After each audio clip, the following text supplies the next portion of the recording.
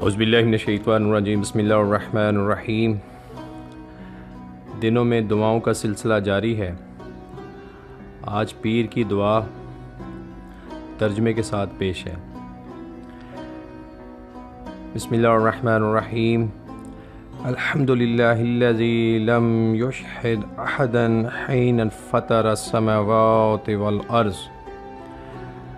अल्लाह के नाम से जो रहमान रहीम है हर तरह की हमद अल्लाह के लिए, जिसने आसमानों और ज़मीन तख्लीक करते वक्त किसी को गवाह नहीं बनाया और ना किसी की मदद और ना किसी को मददगार बनाया।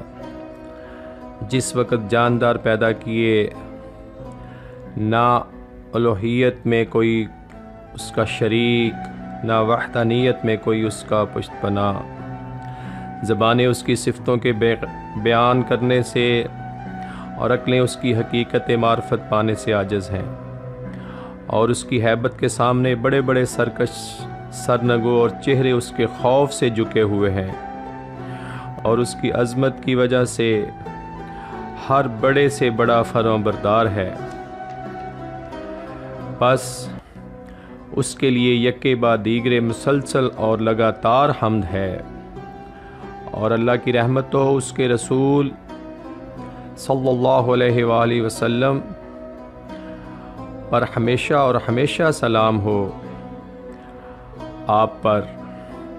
या अल्लाह, मेरे दिन का आगाज़ दुरुस्ती और दरमियाने हिस्से को कामयाबी और आखिरी हिस्से को रास्तगारी बना दे। और मैं ऐसे दिन से तेरी पनाह तलब करता हूँ जिसका आगाज़ गम, दरमियानी हिस्सा बेचैनी और आखिरी हिस्सा दुख दर्द हो। या अल्लाह, मैं तुझसे मगफरत चाहता हूँ, हर मानी हुई नज़र के बारे में और हर किए हुए वादे के सिलसिले में और हर किए हुए महादे के लिए जिसे मैं पूरा ना कर सका और मैं तुझसे माफ़ी का सवाल करता हूँ।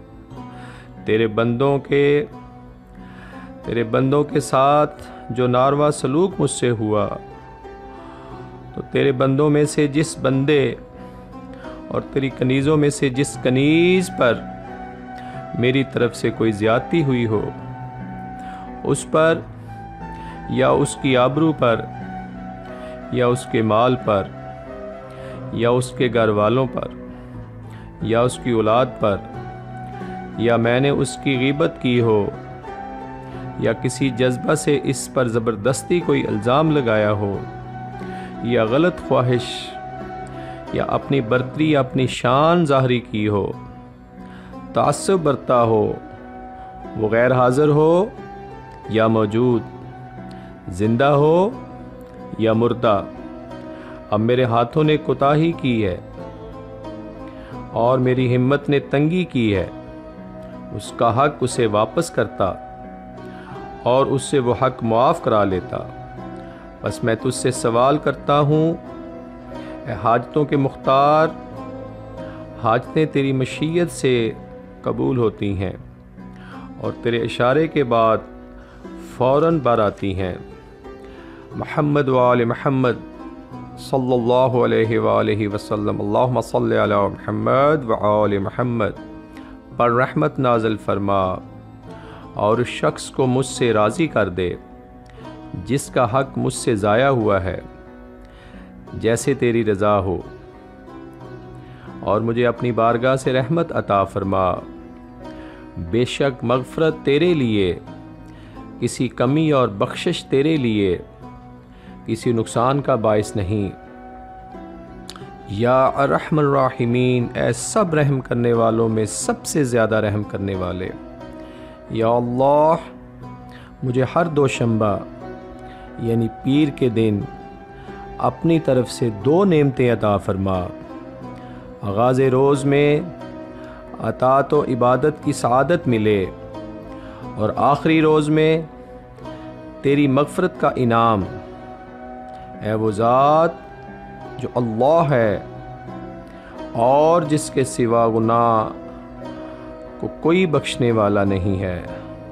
वला यकफिर जुनूब वला यकफिर जुनूब सिवा। सदक़ल्लाज़ीम अल्लाहुम्मा सल्ली अला महम्मद व आले महम्मद व अज्जिल फ़रज।